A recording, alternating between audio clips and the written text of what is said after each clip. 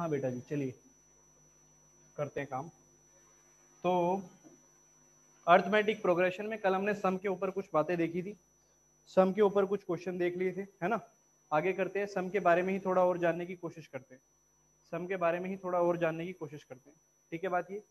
मान लीजिए भाई, मान लीजिए मेरे पास एक एक्सप्रेशन दिया हुआ है। मान लीजिए मेरे पास एक एक्सप्रेशन दिया हुआ है। जैसे मैं एक जनरल ले लेता हूँ। जैसे जनरल एक एक्सप्रेशन ले लेता हूँ। एक्सप्रेशन क्या लिया मैंने?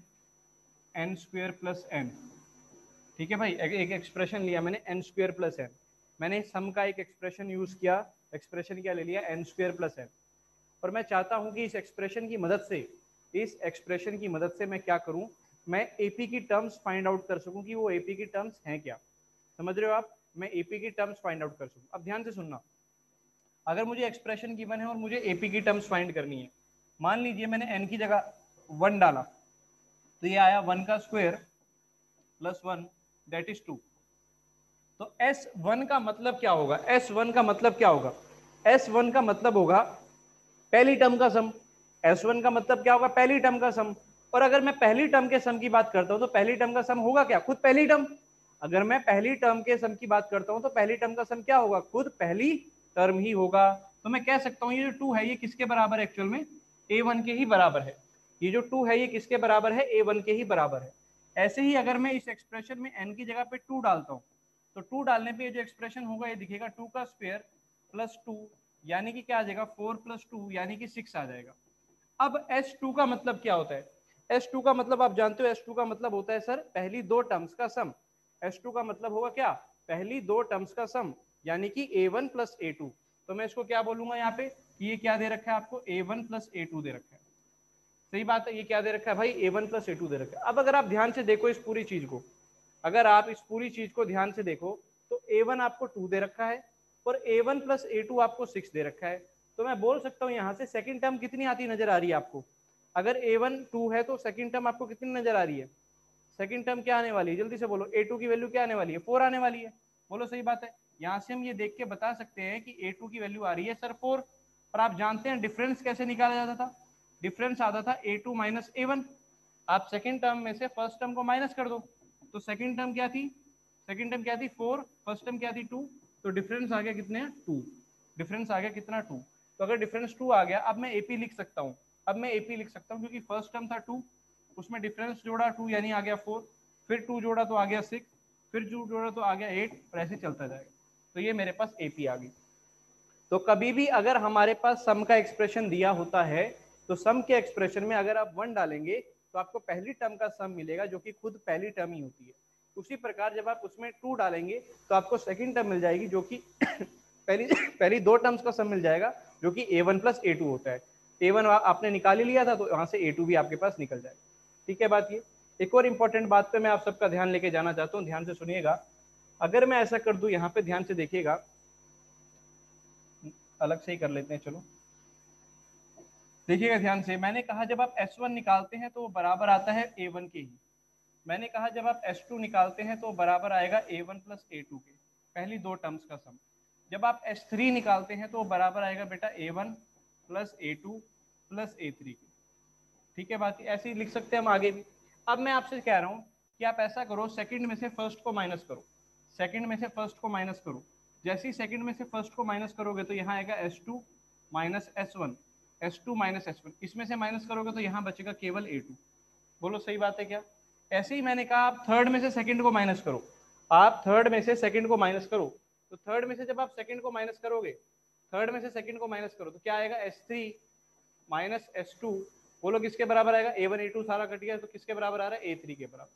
अगर आप इन दोनों को ध्यान से देखो और एक जनरल फॉर्म क्रिएट करने की कोशिश करो, इन दोनों को ध्यान से देखो और एक जनरल फॉर्म क्रिएट करने की कोशिश करो तो आप बड़े आराम से यहाँ पर क्या बता सकते हो कि जो ए एन होगा, ए एन होगा, समझ रहे हो क्या? ए एन होगा, ए एन एन एथम किसके बराबर आएगा बोलो? अगर यहाँ पर थ्री है तो यहाँ पर भी थ्री है, यानी यहाँ पर भी एन आ जाएगा। सोचो ना, यहाँ थ्री है तो यहाँ भी थ्री है तो अगर यहाँ एन है तो यहाँ भी एन आ जाएगा। और अगर यहाँ पर आपके पास टू है तो यहाँ क्या आ जाएगा बेटा? एन माइनस वन आ जाएगा। समझ रहे हो बात ये? क्लियर है? एन माइनस वन आ जाएगा। क्लियर है बात ये? जल्दी बोलो। ठीक है? तो एन एच टर्म एक इस तरीके से भी निकाली जा सकती है S N minus S N minus one ठीक है? ठीक है?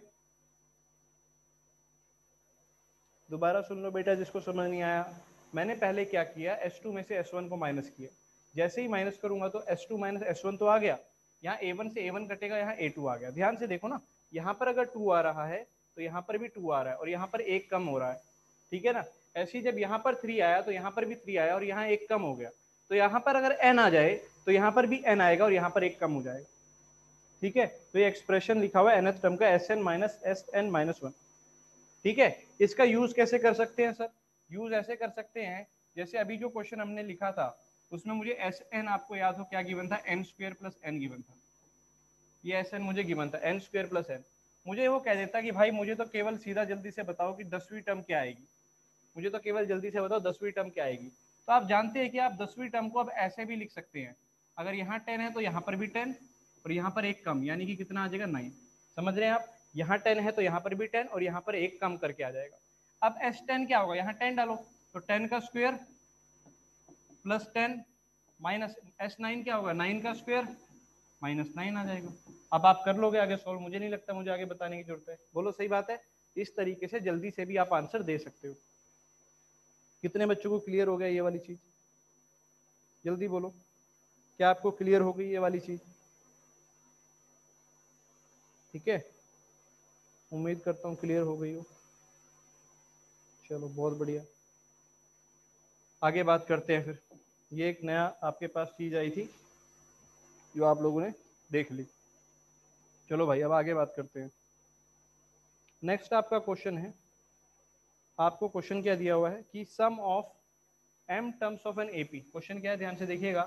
क्वेश्चन ये दे रखा है कि sum of M terms of an AP किसी एपी में एम टर्म्स का जो सम है, वो बराबर है उसी एपी की एन टर्म्स के सम के भी। किसी एपी में यदि एम टर्म्स का जो सम है, वो बराबर है उसी एपी में एन टर्म्स के सम के भी देन शो दैट शो क्या करना है? Then show that show that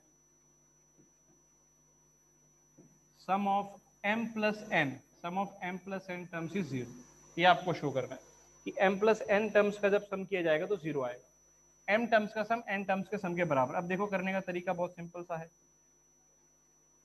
देखो जी, सबसे पहले क्या करेंगे? सम ऑफ़ m टर्म्स क्या होगा? जल्दी फॉर्मूला याद करो। आपको सर, m बाई टू साथ में आता था two A plus M minus one into D ये सम का फॉर्मूला था, कल हमने सीखा था। बराबर में आएगा, बोलो जल्दी से किसके? n बाई टू यहाँ आ जाएगा two A plus N minus one into D सही बात है भाई? क्लियर है? मैंने आप लोगों को एक चीज़ बोली हुई है कि अगर ऐसा हो जाए कि आपके पास दो इक्वेशन जनरेट होती हो, तब तो आप ए को निकालो और डी को निकालो और फिर जो पूछा है वो सॉल्व करो। अगर दो इक्वेशन जनरेट होती हो, अगर एक ही जनरेट हो रही है तो वहीं से कोई कंडीशन निकालनी पड़ेगी। जैसे यहाँ पर केवल यही एक इक्वेशन है तो यहीं से हमें कोई ऐसी कंडीशन निकालनी होगी जो वहाँ पर काम आ रही हो। ठीक है बात ये? अब देखो। टू से टू तो कट गया दोनों साइड में। इधर क्या आया है? अगर आप मल्टीप्लाई कराओगे तो आ रहा है two A M plus M square D है ना? ये एम इस एम से होगा और डी से होगा। ऐसे ही फिर क्या आएगा? माइनस का एम डी ये तो इस तरफ़ आया। इधर क्या आएगा? ध्यान से देखो। Two A N plus N square D और माइनस का एन इतने में तो किसी बच्चे को दिक्कत नहीं आई होगी ठीक है? सबको मैं एक तरफ़ ले आता हूँ। इसको इधर ले आता हूँ। अब देखना ध्यान से। यहाँ जो ये टू ए एम है और ये जो टू ए एन इधर आके माइनस होगा तो दोनों में से टू ए कॉमन आ जाएगा और यहाँ आ जाएगा एम माइनस है। सही बात है? दोनों में से टू ए कॉमन आएगा और आ जाएगा एम माइनस है। ऐसी अगले में से अगर डी कॉमन ले लूँ तो आ जाएगा M square minus N square. आ जाएगा M square minus N square. M square minus N square. सही बात है बेटा? M square minus N square. ऐसी अगले में से जब मैं माइनस डी कॉमन लूँगा, किस किसमें से? इसमें से और इसमें से। जब इसको इधर लाऊँगा और माइनस डी कॉमन लूँगा तो आएगा एम माइनस है। और ये चीज़ बराबर आ गई ज़ीरो जल्दी बोलो, क्या इस स्टेप पर आप सब पहुँच गए हो? क्या इस स्टेप पर आप सब पहुँच गए हो? जल्दी बोलो। क्या आप सब इस स्टेप पे पहुँच गए हो? हाँ भाई। क्या आप सब इस स्टेप पे पहुँच गए हो? चलो वेरी गुड नींबू पानी पीते रहिए, है ना? Nimbu pani is good for health cold drink वगैरह से बचें। नींबू पानी पीते रहे, है ना? कोविड से भी बचाता है चलिए तो यहाँ से अब मैं क्या कर सकता हूँ? पूरी इक्वेशन में आप ध्यान से देखो, यहाँ पर भी m माइनस एन है, यहाँ पर भी m माइनस एन है, और इसके दो फैक्टर होते हैं, उसमें भी एम माइनस एन आता है। तो यानी पूरी में से मैं क्या कर सकता हूँ? एम माइनस एन को डिवाइड कर सकता हूँ। अगर पूरी में से एम माइनस एन को हटा दूँ तो यहाँ बचेगा टू ए यहाँ बचेगा कितना? Two A plus B plus D इसके दो फैक्टर थे, एक एम माइनस एन और एक M plus N M minus N और एक एम प्लस एन तो क्या बचेगा यहाँ पे एम प्लस एन क्योंकि एम माइनस एन से तो मैंने पूरे को डिवाइड करा दिया तो बचेगा क्या एम प्लस एन और माइनस में यहाँ बचेगा डी एम माइनस एन हट गया इज़ इक्वल टू ज़ीरो समझ रहे हो ये स्टेप कैसे आया? यहाँ से ये वाला स्टेप कैसे आया समझ में आया आएगा? पूरे को एम माइनस एन से डिवाइड करा दिया। बस अब यहाँ से आपका काम थोड़ा आसान हो गया है। इस चीज़ को अगर और आप डी कॉमन लेके लिखें तो क्या लिखा हुआ है? Two A plus D common लिया तो आ गया M plus N minus one is equal to zero ये कंडीशन आपके पास जनरेट हुई। समझ रहे हो? ये कंडीशन आपके पास यहाँ से जनरेट हुई। बस इससे आगे तो इसका कुछ और किया नहीं जा सकता। अब मैं वो सोचता हूँ जो मुझे निकालना था। अगर आपको याद होगा तो हमें क्वेश्चन में निकालना था एम प्लस एन टर्म्स का सम ज़ीरो दिखाना। ये देखो sum of M plus N term zero दिखाना। चलो, एक बार लिख के देखते हैं कि sum of M plus N आएगा क्या। एक बार लिख के देख लेते हैं sum of M plus N क्या आएगा। तो आप जानते हैं sum of M plus N अगर मैं लिखूँगा तो कैसे लिखूँगा बोलो? M plus N by two भाई यहाँ एन होता तो एन बाई टू आता था। अगर एम प्लस एन है तो M plus N by two आएगा। साथ में क्या आएगा बोलो? Two A plus M plus N minus one into D सही बात है भाई? कितनी बात सभी को क्लियर होगी होगी। अब मेरे को जल्दी से बताओ, इस चीज़ की वैल्यू आप लोगों ने ऊपर निकाल ली इस चीज़ की वैल्यू आपने ऊपर निकाल ली कितनी आई है? ज़ीरो आई है क्या? जल्दी बोलो। इस चीज़ की वैल्यू आ गई है ज़ीरो और ज़ीरो इंटू समथिंग क्या आएगा? Zero so your answer is zero हो गया प्रूफ जल्दी बोलो।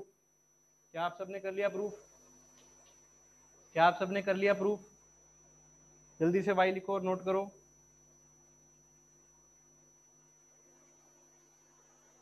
जल्दी से वाई लिखो और नोट करो।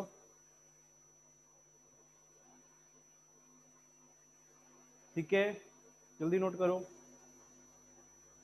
बेटा लास्ट स्टेप में मैंने इसकी वैल्यू डाली है। ये जो लास्ट स्टेप है ना, इसमें मैंने इसकी वैल्यू डाली है। Two A plus M plus N minus one into D इसकी वैल्यू कितनी आई? ज़ीरो ऊपर निकाली ना, देख।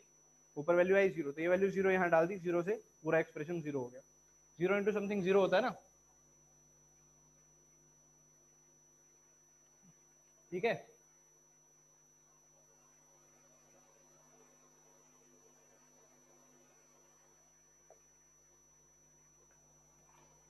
क्लियर चलो, आगे बढ़ते हैं भाई। आगे बढ़ते हैं, आगे बढ़ते हैं। उम्मीद करता हूँ यहाँ तक सभी बच्चों को क्लियर हो गया होगा। एक और अच्छा क्वेश्चन आपके सामने लाता हूँ। चलो क्वेश्चन है द सम ऑफ़ एक और अच्छा क्वेश्चन है the sum of N the sum of N two N and three N terms the sum of N 2n and 3n terms of an AP of an AP the sum of n 2n 3n terms of an AP are are are, क्या है भाई? S1 S2 and S3 ठीक है जी? जो n terms का समय उसे S1 से रिप्रेजेंट किया, जो 2n टर्म्स का समय उसे S2 से रिप्रेजेंट किया, जो S3 है, वो किसको रिप्रेजेंट कर रही है? 3n टर्म्स के सम को. देन प्रूव दैट प्रूव क्या करना है? प्रूव दैट प्रूव आपको करना है भाई, मैं दिखा लिखता हूँ। Prove that S three is equal to three times of S two minus S one ये आपको प्रूव करना है। S three is equal to three times of S two minus S one ठीक है जी? तो कोई एक स्टेप हम प्रूव करते हैं एल एच एस या आर एच एस में से, किसी दूसरे के बराबर, ठीक है? चलो, याद रखना एस वन क्या है? एन टर्म्स का सम एस टू क्या है? टू एन टर्म्स का सम चलो, करते हैं जरा। कोशिश करते हैं। चलो। सबसे पहले आर को सॉल्व करते हैं इधर, इस साइड में। तो आपको दिया हुआ थ्री टाइम्स ऑफ़ क्या दिया हुआ एस टू एस टू क्या था बेटा? टू एन टर्म्स का सम क्या था? टू एन टर्म्स का सम जल्दी बोलो। एस टू क्या था? टू एन टर्म्स का सम अब जो एपी है आपके पास, उसकी आपको फ़र्स्ट टर्म तो मालूम नहीं है तो उसे ए ही मान लो और डिफरेंस डी ही मान लो, है ना? तो चलो एस टू की वैल्यू लिखते हैं। पहले एस टू एस टू क्या होने वाला है? टू एन टर्म्स का सम यानी कि टू एन बाई टू साथ में two A plus two N minus one into D. ये वैल्यू आएगी एस टू की। कितने बच्चे सहमत है इस वैल्यू से? जल्दी बोलो, क्या आपको सही लग रहा है? कि एस टू की ये वैल्यू सही आ रही है? ठीक है ठीक है, सबने वाई लिख दिया। ऐसे ही minus S one S one है एन टर्म्स का सम यानी कि एन बाई टू साथ में आएगा two A plus N minus one into D clear है? ये तो मैंने डाल दिया इनकी वैल्यूज़ अब सॉल्व करने की कोशिश करते हैं क्या क्या आने वाला उसको देखते हैं। ठीक है भाई? सॉल्व करते हैं। देखो, इस टू से टू तो कैंसिल हो जाएगा। तो ओवरऑल थ्री टाइम्स ऑफ़ यहाँ बचेगा। एन को जब टू ए से कराओगे तो आएगा टू ए एन एन को इससे कराओगे तो आएगा एन को इससे कराओगे तो आएगा टू एन स्क्वेयर डी और एन को जब अंदर कराओगे तो आएगा माइनस का एन डी पहले एन को मैंने अंदर सारी ब्रैकेट से मल्टीप्लाई करा दिया। एन को मैंने अंदर सारी ब्रैकेट से मल्टीप्लाई करा दिया। ठीक है जी? ऐसे ही जब इधर माइनस का साइन तो बाहर रख लो अभी फ़िलहाल। एन बाई टू को टू ए से कराओ। पहले एन बाई टू को टू ए से तो आपको क्या मिलेगा? एन इंटू में ए क्योंकि टू से टू तो कट जाएगा। इसमें तो कोई दिक्कत नहीं है। एन इंटू में मल्टीप्लीकेशन देखो कैलकुलेटिव काम है। इसमें कुछ ऐसा नहीं है कि कोई बहुत भारी सा कंसेप्ट लग रहा हो। कैलकुलेटिव काम है। अगर कैलकुलेशन सही है तो सब सही है। एन बाई टू को इससे कराया तो एन ए आ गया। एन बाई टू को जब इससे कराओगे तो आएगा N square D by two क्योंकि अपॉन में आपकी बार टू चल रहा है। एन बाई टू को इससे कराओगे तो माइनस का N D by two multiplication आपको करनी पड़ेगी, उसमें मैं कोई हेल्प नहीं कर पाऊँगा, है ना? मल्टीप्लीकेशन इसलिए मैं कह रहा हूँ, बार बार कॉपी पेन लेके बैठा करो और मल्टीप्लाई साथ के साथ मेरे किया करो, जैसे मैं कर रहा हूँ, वैसे आप भी साथ साथ करते रहो, ताकि किसी स्टेप पे दिक्कत ना हो क्लियर है बात? अच्छा अब ये जो चीज़ आ गई है थ्री तो बाहर है, उसको अभी छोड़ो। थ्री से कोई काम नहीं है अभी हमारा थ्री को बाहर ही रखो। तो थ्री तो बाहर ही रखो। अब देखते हैं क्या क्या आ गया है। देखो, यहाँ से आया टू ए एन और यहाँ से आ रहा है माइनस का ए एन तो केवल एक ए एन बचेगा। पहली बात तो ये। केवल एक ए एन बचेगा। टू ए एन था, यहाँ से ए एन आ रहा था, एक एन बचेगा। अब देखो एन स्क्वेयर डी को देखो। एन स्क्वेयर डी कितने यहाँ पे? दो। एन स्क्वेयर डी है दो, और यहाँ पे कितने माइनस का हाफ़ एन स्क्वेयर डी तो दो में से जब आप हाफ़ हटाओगे, दो में से हाफ़ हटाओगे तो कितना बचेगा? थ्री बाई टू अगर दो में से आप हाफ़ हटाओगे तो कितना बचेगा? थ्री बाई टू तो बचेगा। तो यहाँ से कितना आएगा? बोलो।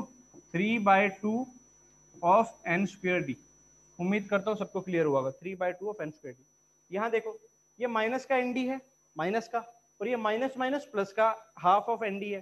तो माइनस वन में से आप हाफ़ जोड़ोगे तो माइनस का हाफ़ बचेगा। तो यहाँ बचेगा माइनस का हाफ़ ऑफ़ एन डी सही है बात बेटा इतनी? यहाँ तक पूरे को सॉल्व करके इतना आगे। अब देखते हैं आगे इसको और क्या बना सकते हैं अपन। और क्या बना सकते हैं अपन। देखो, पूरे में आपने टू कॉमन ले लिया बाहर। पूरे से टू कॉमन ले लिया आप लोगों ने बाहर, जल्दी बोलो। पूरे से टू कॉमन ले लिया, और ऊपर से एन भी कॉमन आ रहा है। ध्यान से देखो। एन भी कॉमन आ रहा है तो थ्री एक तो एन बाहर आया, पूरे से एन बाहर आया, और नीचे एल्शियम लेके आपने वो एल्शियम वाला, चलो एल्शियम को भी अंदर ही रखते हैं ना? एल्शियम को भी अंदर ही रखते हैं। अंदर एल्शियम लिया आपने इसका। ठीक है जी, यहाँ आ जाएगा टू है क्योंकि एन तो बाहर आ गया है। यहाँ पर क्या आएगा, जल्दी बोलो plus three times of two तो है ही पहले से।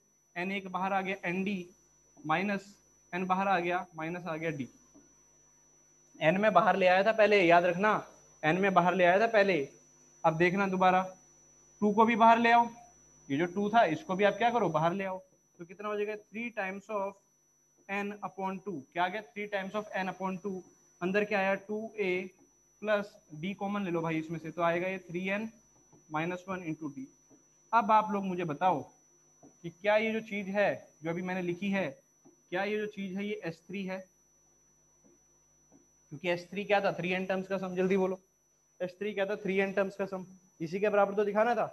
वही तो आ गया three N by two two A plus three N minus one into D तो आपने पूरा क्वेश्चन ध्यान से अगर देखा हो तो कैलकुलेटिव है।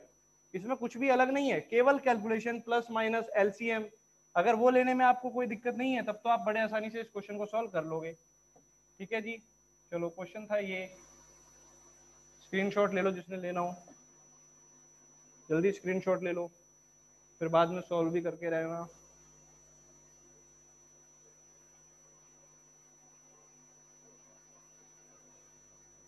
ठीक है? ये लो। जल्दी से स्क्रीनशॉट ले लीजिए।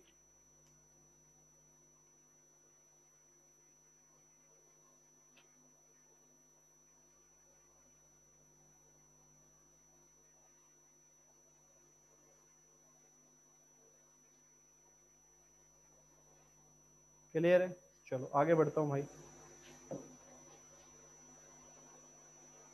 आगे बढ़ते हैं।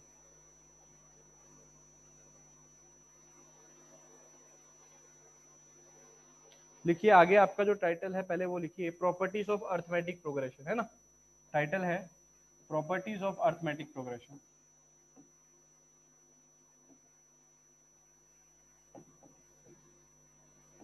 properties of arithmetic progression क्या क्या प्रॉपर्टी होती है एपी की? उस पर बात करते हैं, ठीक है?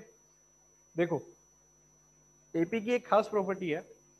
क्या? कि अगर पूरी एपी में, पूरी एपी में आपने कोई भी एक कांस्टेंट नंबर कोई भी एक कांस्टेंट नंबर पूरी एपी में ऐड कर दिया, तब भी जो चीज़ नहीं बनकर आएगी, वो एपी ही आएगी। ध्यान से देखिएगा कैसे एग्जांपल लेके करते हैं अपन तो। सिंपल जैसे एग्जांपल में ले लिया, कोई एपी ले लेते हैं। थ्री फाइव सेवन नाइन चल रही है। ठीक है जी? मैंने कहा, आप एक काम करो, इस पूरी एपी में दो ऐड कर दो। क्या ऐड कर दो? दो ऐड कर दो, हर एक टर्म में। तो यहाँ भी दो ऐड करोगे तो यहाँ फाइव आएगा। यहाँ ऐड करोगे तो सेवन आएगा, यहाँ करोगे तो नाइन आएगा, ऐसे चलता जाएगा। तो अब ये जो नया सीक्वेंस है ये वाला, ये भी एपी में ही आ रहा है, ध्यान से देखिए। ये भी किसमें आ रहा है? एपी में ही आ रहा है। तो अगर आप पुराने सीक्वेंस में, पुराने एपी में, अगर आप पुराने एपी में क्या करें? अगर आप पुराने एपी में क्या करें? कोई भी नया कॉन्स्टेंट नंबर सब में सेम ऐसा नहीं कि पहले में मैं दो जोड़ूँगा, अगले में तीन जोड़ दूँगा, अगले में फिर दस जोड़ दूँगा, ऐसा नहीं।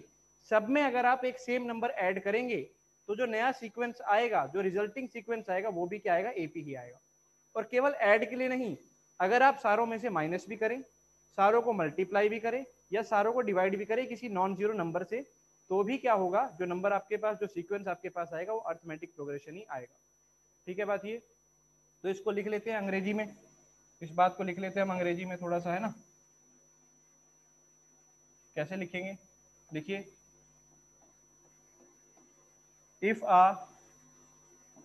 if a non zero constant कैसे लिखेंगे नॉन ज़ीरो क्योंकि बात किस नंबर की हो रही है? जो ज़ीरो ना हो if a non zero constant if a non-zero constant is, if a non-zero constant is, क्या किया जाए? एडेड या फिर सब्ट्रैक्टेड या फिर मल्टीप्लाइड मल्टीप्लाइड या फिर divide if a non zero constant is added subtracted multiplied या फिर डिवाइड या फिर divide in each term of AP in each term of AP then then resulting sequence, then resulting sequence is also AP resulting sequence is also AP है ना? Square पे नहीं भाई, सभी टर्म्स का स्क्वेयर एपी में नहीं आएगा। ठीक है? क्लियर उम्मीद करता हूँ सभी बच्चों को ये पॉइंट क्लियर हो गया होगा। वॉइस स्लो आ रही है, आप तेज आ जाएगी भाई। नितिन, तेरा नेटवर्क कमज़ोर है। नेटवर्क सही करवा अपना। हाँ बोलो यस लिख के भेजो अगर ये पॉइंट क्लियर है सभी को तो। कि अगर एपी की सभी टर्म्स को किसी एक नॉन ज़ीरो नंबर से हम मल्टीप्लाई डिवाइड ऐड या सब्ट्रैक्ट करें तो भी जो नया सीक्वेंस आएगा वो एपी ही आएगा। एग्ज़ाम्पल से आप कोई भी प्रूफ कर सकते हो, है ना? है ना? जनरल से भी हम कर सकते हैं, उसमें भी कोई दिक्कत नहीं है। देखो जनरल से दिखाता हूँ एक। इसी में मैं आपको एक जनरल तरीका दिखाता हूँ। बाकी सब में आप वही ट्राई करके देखना, है ना? मान लेते हैं, जैसे एपी की जनरल फॉर्म मानते हैं जनरल फॉर्म मानते हैं। एपी को अपन ने क्या मान लिया? ए मान लिया।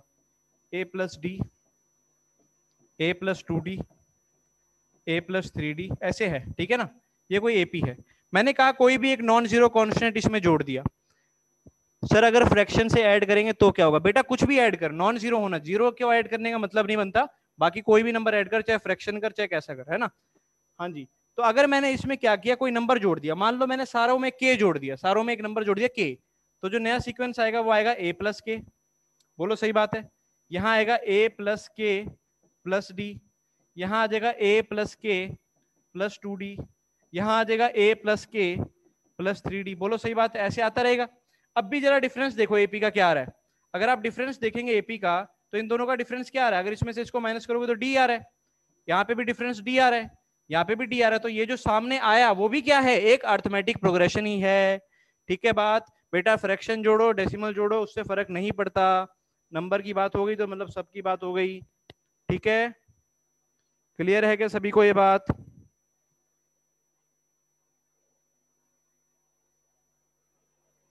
ठीक है भाई, सबको क्लियर है?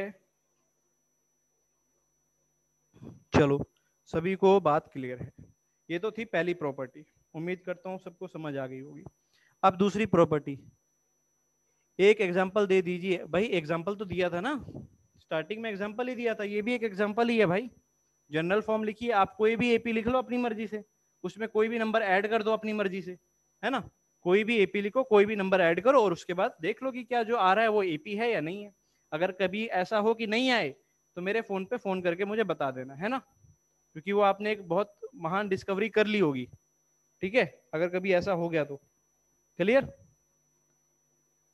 मल्टीप्लाई का एग्जांपल दे दीजिए। देख भाई मल्टीप्लाई देख ले। अभी देख क्या बताऊँ यार इसमें। बहुत सिंपल बात है ये तो। थ्री फाइव सेवन नाइन जैसे ये है। बोल किस नंबर से मल्टीप्लाई करूँ? अपने मन में सोच ले, किसी भी नंबर टू से कर दिया तो क्या आएगा बोल? सिक्स क्या आएगा टेन क्या आएगा बोल? फोर्टीन क्या आएगा एटीन अब देख ले क्या ये एपी आ रहा है? चार चार चार। डिफरेंस सेम आ रहा है तो एपी है। डिफरेंस सेम आ रहा है तो एपी है। बोल सही बात है। अगर डिफरेंस सेम आ रहा है तो एपी है। ठीक है? क्लियर आगे बढ़ू।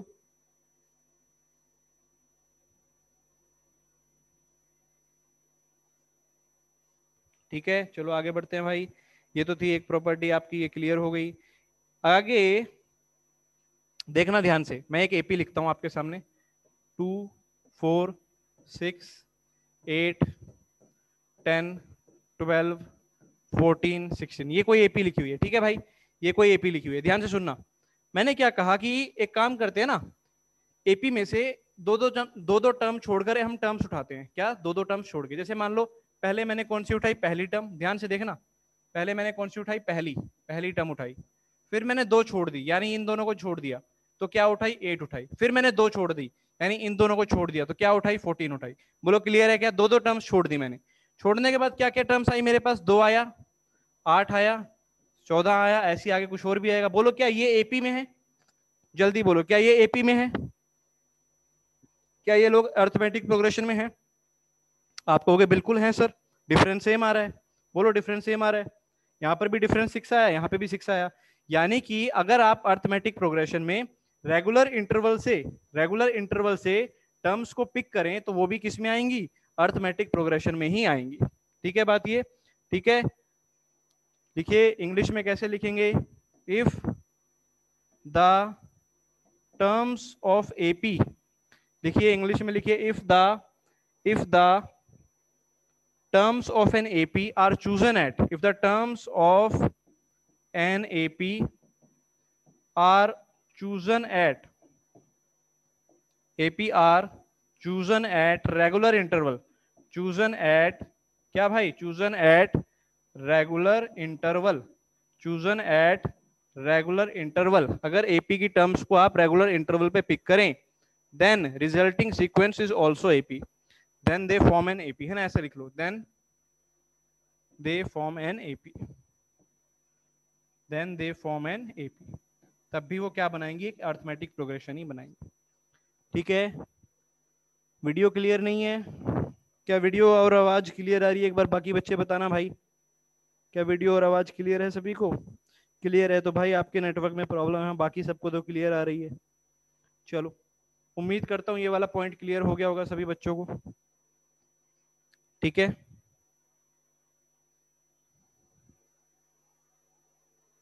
चलो, अगला पॉइंट लिखते हैं। अगला भी बहुत शानदार पॉइंट है। अगला भी पॉइंट जो है वो बहुत शानदार है। पॉइंट क्या है? कि in a finite AP in a finite AP एक फाइनाइट एपी में। फाइनाइट माने जिसकी नंबर ऑफ़ टर्म्स डिफाइन हो। कितनी है? दस है, पंद्रह है, बीस है, सौ है, जितनी भी है। पर पता है कि इतनी है। इन्फानाइट नहीं है।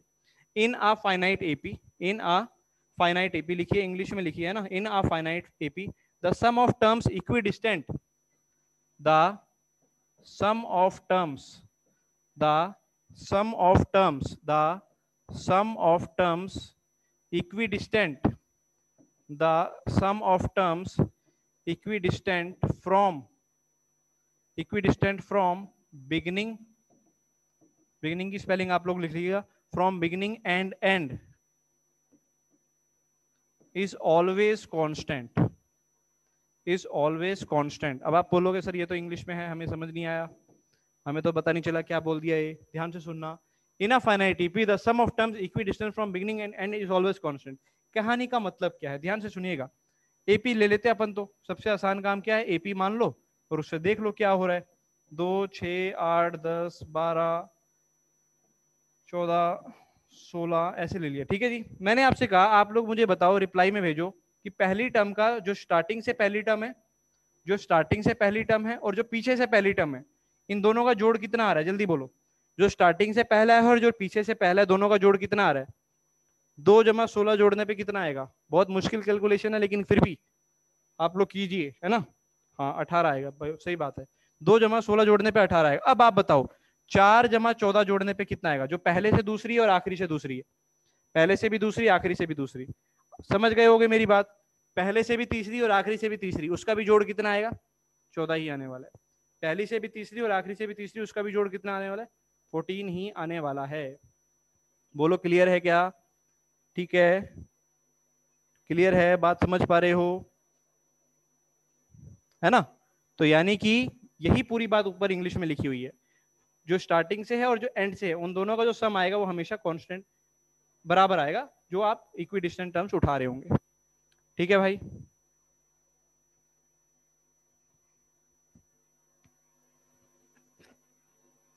चलो, आगे बात करते हैं। इस प्रॉपर्टी का यूज़ बहुत शानदार किया जा सकता है, अगर आप ध्यान से देखें तो है ना? आपको कह देगा किसी एपी की फ़र्स्ट टर्म तो ए है फ़र्स्ट टर्म ए है और लास्ट टर्म बी है।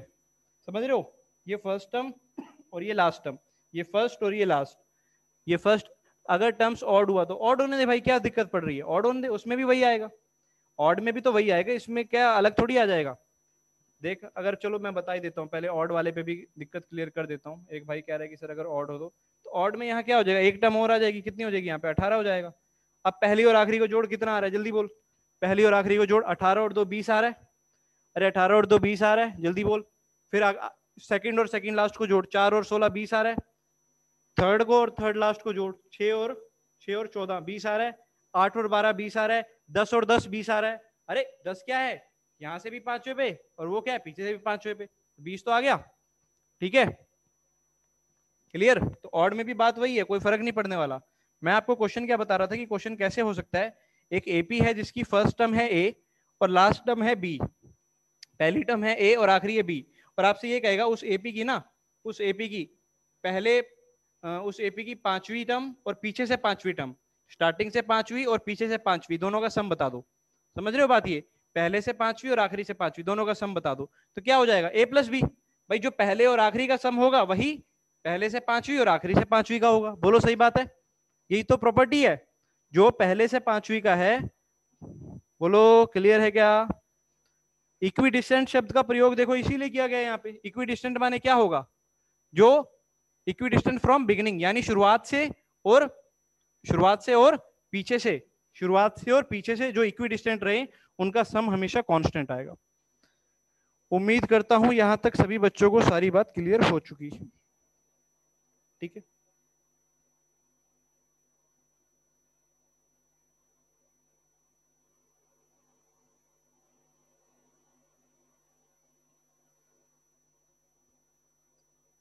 चलिए आगे बढ़ते हैं। इसके आगे का कुछ पॉइंट और वो मैं आपको पहले ही लिखवा चुका था। अगर आपको याद हो कि कोई भी एपी की अगर एनएथ टर्म की बात करता है nth term of an AP a n से ही लिखते हैं ना? Nth term of an AP अगर हमारे पास गिवन है, क्या? मान लो गिवन है ए एन प्लस बी है ना? ए एन प्लस बी ऐसा गिवन है। या कुछ और ले लेते हैं। ए एन से तो आपको फिर कंफ्यूजन रहेगा। अगर ए पी की जो एन टर्म है, हम मान लेते हैं क्या दी हुई है हमें? कैपिटल ए ले लेते हैं। Capital A n plus b तो मैंने आपको कल लिखवाई थी ये प्रॉपर्टी कि जो एपी की एनएथ टर्म है, वो हमेशा लीनियर आती है। एपी की जो एनएथ टर्म है, वो हमेशा लीनियर आती है। ये प्रॉपर्टी कल लिखवा दी थी, है ना? और साथ ही साथ जो ये एन का कोफिशियंट होता है ये आपका डिफरेंस होता है। ये बात भी मैं बत, आपको पहले ही दिन शायद बता चुका था। जो एन का कोफिशियंट होता है वो डिफरेंस होता है। ये बात भी मैं पहले दिन ही आपको बता चुका था। ठीक है? ये तो एनएथ टर्म की बात होगी। ऐसी जो सम का एक्सप्रेशन आता है जो एपी के सम का एक्सप्रेशन आता है वो कैसा आता है? वो इस प्रकार की फॉर्म का आता है। A n square plus b n समझ रहे हैं? सम का जो अभी तक आपने एक्सप्रेशन देखे ध्यान दीजिए कांस्टेंट टर्म नहीं आती है उसमें। सम के एक्सप्रेशन में कॉन्स्टेंट टर्म नहीं आती है। अभी तक जितने आपने सम के एक्सप्रेशन देखे याद कीजिए उनको। कॉन्स्टेंट टर्म नहीं आती है। ठीक है जी? और क्वाड्रेटिक आती है, बिल्कुल। क्वाड्रेटिक आती है। सही बात है? कॉन्स्टेंट टर्म गायब होती है और क्वाड्रेटिक आती है। ये बात याद रखिएगा। ठीक है मेरे भाई? ठीक है? और इसमें जो ये ये जो, ये होता है ना डिफरेंस इसमें जो डिफरेंस होता है, वो किसके बराबर होता है? ध्यान से देखिएगा। जो लीडिंग कोफिशिएंट है ना, इसका डबल लीडिंग कोफिशिएंट का डबल टू ए के बराबर आता है। नोट कर लेना इस बात को। लीडिंग कोफिशिएंट के डबल के बराबर आता है। ठीक है? क्लियर कर लिया जल्दी बोलो। ठीक है। इसी के बाद एक प्रॉपर्टी हालाँकि कुछ, काफ़ी प्रॉपर्टीज़ मैं पहले लिखवा चुका हूँ आपको। एक और प्रॉपर्टी आपको पहले लिखवा चुका हूँ शायद मैं। कि अगर ऐसा है कि a b c are in arithmetic progression अगर ऐसा है कि ये तीन टर्म्स अगर एपी में हैं, अगर ये तीन टर्म्स एपी में हैं तो मैंने क्या लिखवाया था कि बी माइनस ए डिफरेंस बराबर डिफरेंस यानी सी माइनस बी पहले इसको इसमें से माइनस किया, इसको इसमें से किया, ये तो डिफरेंस बराबर हो गया। बी को आप एक तरफ़ ले आए तो टू बी बराबर में ए प्लस सी ये कंडीशन मैंने बोली थी एपी के लिए होती है है ना? अगर ए बी सी एपी में है तो टू बी बराबर ए प्लस सी होगा। ए बी सी अगर एपी में है तो टू बी बराबर ए प्लस सी होगा, ये याद रखेंगे। ठीक है? क्लियर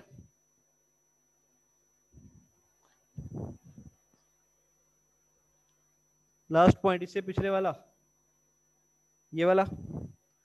हमने इसमें बात करी थी, अगर आपको याद हो ना। अगर आपको याद हो, कल कुछ एक्सप्रेशन भी पढ़े थे हमने, जो जनरल एक्सप्रेशन पढ़े थे। अगर एपी के सम की अगर हम बात कर रहे हैं, कुछ जनरल एक्सप्रेशन कल पढ़े थे। जैसे कि आपको याद हो कि सम ऑफ़ इफ़ टर्म ज़्यादा हो तो सर ज़्यादा मतलब अब एन टर्म्स ही तो होती हैं, है ना? अब एन कितना भी हो सकता है, वो तो उस पर डिपेंड करेगा। जैसे आपको याद हो, कल हमने ऑड का सम देखा था। याद है क्या? ऑड ऑड नंबर्स का सम ऑड नंबर्स का सम आपको याद होगा, कल आया था ऑड नंबर्स का सम एन स्क्वेयर ठीक है बात ये, ऐसी हमने इवन का भी देखा था। अगर आपको इवन का याद हो तो आया था n into n plus one यानी कि कितना आया था? एन स्क्वेयर प्लस एन बोलो, सही बात है? क्लियर है? तो मैंने आपसे कहा कि जो एन स्क्वेयर का कोफिशियंट होता है, जैसे यहाँ पर भी वन है और यहाँ पर भी एन स्क्वेयर का कोफिशियंट वन है तो जो डिफरेंस आता है इनका, इन, इस सीरीज़ का, वो हमेशा इसका डबल आता है, यानी कि टू आएगा। वन का डबल टू यहाँ पे भी डिफरेंस कितना आएगा? टू आएगा। याद करो ऑड ऑड नंबर्स के बीच का डिफरेंस टू ही तो होता था। या इवन नंबर्स के बीच का डिफरेंस टू ही तो होता था। बोलो जल्दी से। ऑड और इवन दोनों नंबर्स के बीच का डिफरेंस कितना होता था? टू ही तो होता था। ठीक है बात ये? तो इस प्रकार से ये वाली बात कर रहे हैं कि जो एन स्क्वेयर का कोपिशेंट होगा डिफरेंस हमेशा उसका डबल आता है। ठीक है? आगे बढ़ रहा हूँ अब। ये वाला पॉइंट आप सबने लिख लिया होगा, मैं उम्मीद कर रहा हूँ। उसके बाद आज जो हमने स्टार्टिंग ही करी है जिस पॉइंट से, वो पॉइंट भी इसी में जोड़ देते हैं। आज आपको याद होगा, अभी स्टार्टिंग हमने करी थी कि जो ए एन होता है एन एस टर्म अगर सम के तरीके से निकालना हो तो अगर यहाँ पर एन है तो यहाँ पर भी एन आएगा और यहाँ पर एक कम आ जाएगा। बोलो सही बात है? अगर यहाँ पर एन है तो यहाँ पर भी एन आएगा और आगे एक कम आ जाएगा। ठीक है भाई? सारी प्रॉपर्टीज़ उम्मीद कर रहा हूँ सभी बच्चों को क्लियर हो गई होंगी। ठीक है? चलो, एक क्वेश्चन आपको देते हैं अब करने के लिए। अगर हम एस एन के फॉर्मूला को ब्रेक करें तो उससे coefficient of n square difference आता है। Coefficient of n n square difference आता है। समझ नहीं आई भाई मेरे को तेरी बात।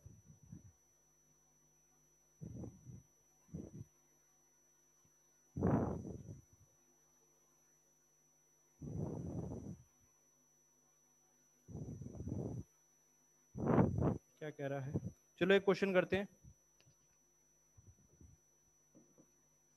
चलो भाइयों, एक क्वेश्चन करो जल्दी से सभी बच्चे।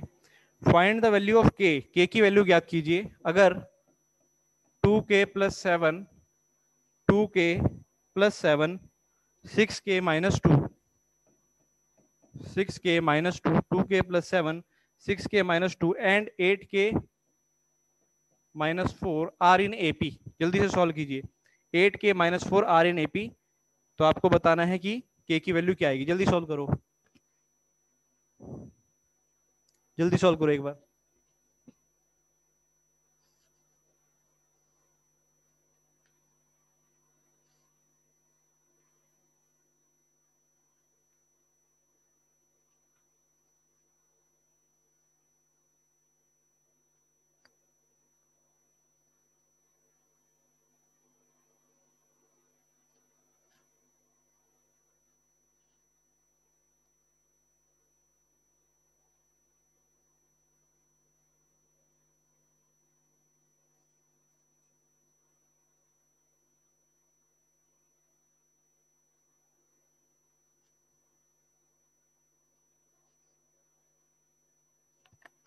चलो काफ़ी बच्चों का आंसर आ गया है।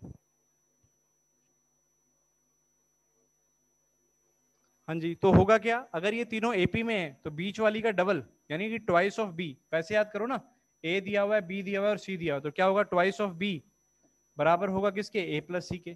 करो जरा ट्वाइस ऑफ़ बी कितना आएगा? Twice of six k minus two बराबर ए प्लस सी यानी two k oops oops oops oops ये मेरे से क्या दब गया? एक मिनट रुको भाई। हाँ चलो, शुगर है। हाँ।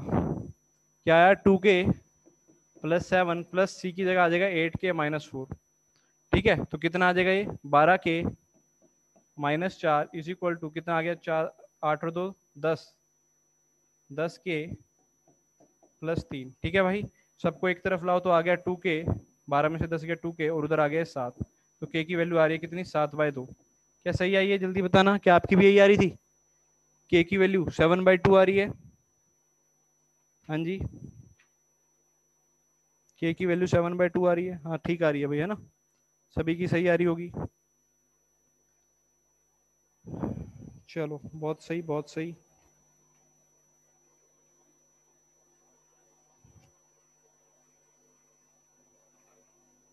क्लियर है भाई बात? यहाँ तक जल्दी बोलो सभी को। यस लिख के भेज दो एक बार।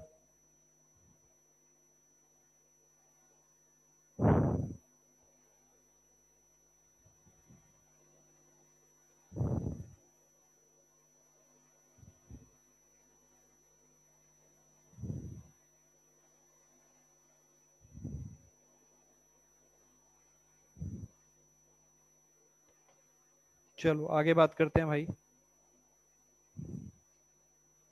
आगे बात करते हैं। एक मिनट रुको, बस मैं देख लूँ, एक बार सारी प्रॉपर्टीज़ हमारी ख़त्म हो चुकी हैं।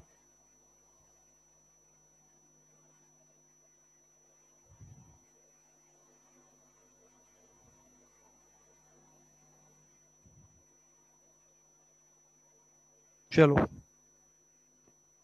ए वन डी के साथ निकल सकता है। हाँ हो जाएगा भाई, उससे भी हो जाएगा। वही प्रॉपर्टी यूज़ करिए, साहिल और नितिन, दोनों ने सही कहा है। अच्छा चलो। पीयूष पीयूष, तेरा कोई डाउट था यार शायद। पीयूष राज, तेरा ये डाउट था कि जब एस का एक्सप्रेशन लिखते हैं तो उसमें कुछ और आता है ना? देख लेते हैं एक बार। N by two two a plus n minus one into d सही बात है? इसको जब सॉल्व करते हैं तो कितना आएगा? एन बाय टू को अंदर सॉल्व मल्टीप्लाई कराओ। तो एक तो आ जाएगा, एक तो आ जाएगा जब मल्टीप्लाई कराओगे ए एन क्योंकि टू से टू कटेगा।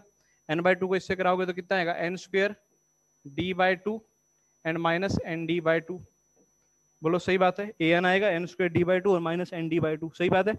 सही लिखा है? अच्छा तो यहाँ से अगर आप देखो एन स्क्वेयर का जो कोफिशियंट आ रहा है, वो आ रहा है d by two n square का कोफिशियंट आ रहा है डी बाई टू और साथ में एन अलग ले लो तो आ गया a minus d by two बोल भाई, सही लिखा है क्या मैंने? पीयूष, जल्दी बोल। सही लिखा है क्या यहाँ तक? N square d by two n तो वही तो बोल रहे थे, देख एन स्क्वेयर का जो कोफिशियंट आएगा, उसका डबल आपका डिफरेंस होगा। एन स्क्वेयर का जो कोफिशियंट आएगा, उसका डबल इसका डबल आपका डिफरेंस नहीं होगा, बोलो। अगर जब इसका डबल करेगा तो डिफरेंस के बराबर आएगा ना? ठीक है? जब इसका डबल करेगा तो डिफरेंस के बराबर आ जाएगा। क्लियर वही बात हमने बोली थी कि एन स्क्वेयर का जो कोफिशियंट होता है, उसका डबल हमारा डिफरेंस होता है। बता क्लियर हो गया क्या? प्रॉपर्टी जल्दी बोल जल्दी बोल। ठीक है क्लियर हो गया। गुड आगे बढ़ते हैं भाई, है ना? एक आधा क्वेश्चन और करते हैं।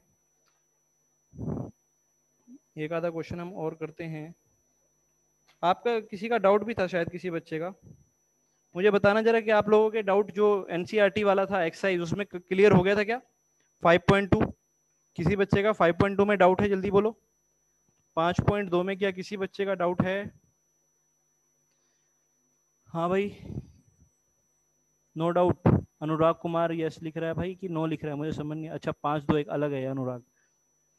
हाँ अनुराग, कौन सा डाउट है भाई बता? 5.2 में कौन सा डाउट है? एटीन क्वेश्चन तूने मेरे पास व्हाट्सएप पे भेजा था ना? एक मिनट रुक।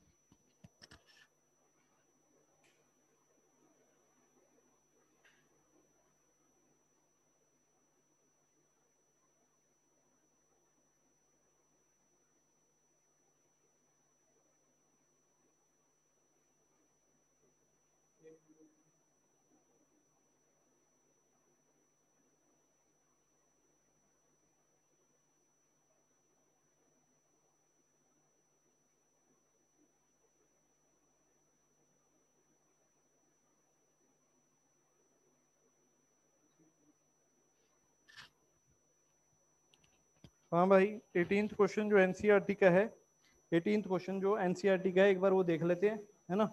डाउट है इस भाई का। सॉल्व करते हैं। एटीन क्वेश्चन एनसीईआरटी कह रहा है the sum of fourth and eighth term of an AP is twenty four कह रहा है, चौथी टर्म का और आठवीं टर्म का जो सम है वो कितना दे रखा है? ट्वेंटी फोर एक तो ये दे रखा है, ठीक है? And sum of six and tenth term is forty four Chhathi term का और दसवीं टर्म का जो सम है वो कितना दे रखा है? फोर्टी फोर तो हमसे पूछ रहा है find three terms of AP तो इसमें बेटा दो इक्वेशन क्रिएट कर ले बस।